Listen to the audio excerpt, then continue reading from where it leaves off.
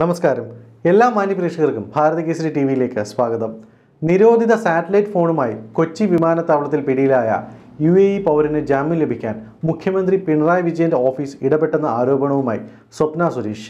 രണ്ടായിരത്തി പതിനേഴ് ഓഗസ്റ്റിലാണ് സംഭവം. തീവ്രവാദ പ്രവർത്തനങ്ങൾക്ക് ഉപയോഗിക്കുന്ന തുറയ്യ ഫോൺ കണ്ടെത്തിയതിനെ തുടർന്ന് സി ഐ എസ് എഫ് പരാതിയിൽ ഇയാൾക്കെതിരെ നിർമ്മശ്ശേരി പോലീസ് കേസെടുത്തിരുന്നു. അബുദാബിയിൽ നിന്ന് കോഴിക്കോടെത്തിയ ഈ വ്യക്തി അഞ്ച് ദിവസത്തോളം കേരളത്തിലുണ്ടായിരുന്നു.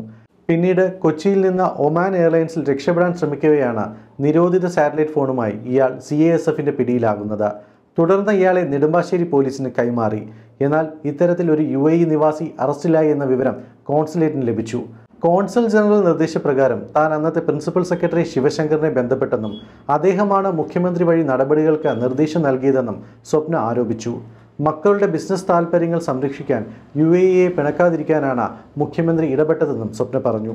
തുടർന്ന് തന്റെ ഫോണിലേക്ക് ഒരു സത്യവാങ്മൂലത്തിന്റെ മാതൃക തന്നെന്നും അത് കോൺസുലേറ്റിന്റെ ലെറ്റർ ഹെഡിൽ തയ്യാറാക്കി വാട്സപ്പ് ചെയ്യാനും നിർദ്ദേശിച്ചു. കോൺസുലേറ്റിലെ പി ആർ ഒ വഴി അത് പോലീസിനു നൽകി. രണ്ടായിരത്തി പതിനേഴ് ജൂൺ നാലാം തീയതി അറസ്റ്റിലായ യു എ നിവാസിയെ ആറാം തീയതി ഒരു ഉപാധിയും ഇല്ലാതെ വിട്ടയച്ചു. ഇയാൾ രാജ്യം വിടുകയും ചെയ്തു. ഇതിന്റെ രേഖകളും സ്വപ്ന പ്രദർശിപ്പിച്ചു. ഒരു തീവ്രവാദിയെയാണ് മുഖ്യമന്ത്രി രക്ഷിച്ചത്. രണ്ടായിരത്തി പതിനേഴ് ജൂൺ മുപ്പതിനാണ് ഇയാൾ നിരോധിത ഫോണുമായി കേരളത്തിലെത്തിയത്. പിടിയിലാകും വരെ ഇത്ര ദിവസം ഈ ഫോണുമായി ഇയാൾ എന്താണ് ചെയ്തതെന്ന് അന്വേഷിക്കാൻ പോലും സർക്കാർ തയ്യാറായില്ല എന്നും സ്വപ്ന വ്യക്തമാക്കി. സ്വർണക്കള്ളക്കടത്ത് കേസ് എന്ന് കേട്ടപ്പോൾ തന്നെ ദേശീയ അന്വേഷണ ഏജൻസിയെ കേരളത്തേക്ക് ക്ഷണിച്ച ആളാണ് നമ്മുടെ മുഖ്യമന്ത്രി. അതേ മുഖ്യമന്ത്രിയാണ് ഭീകര പ്രവർത്തനങ്ങൾക്ക് ഉപയോഗിക്കുന്ന തരം സാറ്റലൈറ്റ് ഫോണുമായി യു എ പൗരൻ അറസ്റ്റിലായപ്പോൾ യാതൊരു അന്വേഷണവും കൂടാതെ അയാളെ വിട്ടയക്കാൻ വേണ്ടി ഇടപെട്ടിരിക്കുന്നത്. ഒരു തീവ്രവാദിയെയാണ് മുഖ്യമന്ത്രി സംരക്ഷിച്ചത്. ഇത് സംബന്ധിക്കുന്ന കൂടുതൽ തെളിവുകളും വരും ദിവസങ്ങളിൽ പുറത്തുവിടുമെന്ന് സ്വപ്ന സുരേഷ് മാധ്യമങ്ങളോട് വ്യക്തമാക്കിയിട്ടുണ്ട്. മുഖ്യമന്ത്രി പിണറായി വിജയനും കുടുംബത്തിനുമെതിരെ നിരന്തരം ആരോപണങ്ങളുമായി രംഗത്തെത്തുകയാണ് സ്വപ്ന സുരേഷ്. ചരിത്രത്തിൽ തന്നെ ആദ്യമായിട്ടാണ് ഒരു മുഖ്യമന്ത്രിക്ക് നേരെ ഇത്തരത്തിലുള്ള ആരോപണങ്ങൾ ഉയരുന്നത്.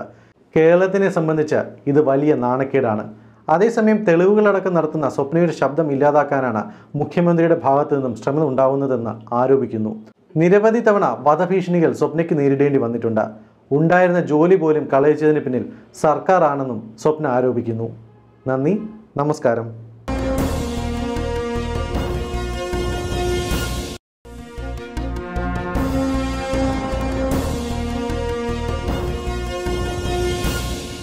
ചാനൽ സബ്സ്ക്രൈബ് ചെയ്യാത്തവർ ഉടൻ തന്നെ സബ്സ്ക്രൈബ് ചെയ്യുക. ബെല്ലൈക്കൺ കൂടി ക്ലിക്ക് ചെയ്താൽ ഞങ്ങൾ അപ്ലോഡ് ചെയ്യുന്ന വീഡിയോകളുടെ നോട്ടിഫിക്കേഷൻ ഉടൻ തന്നെ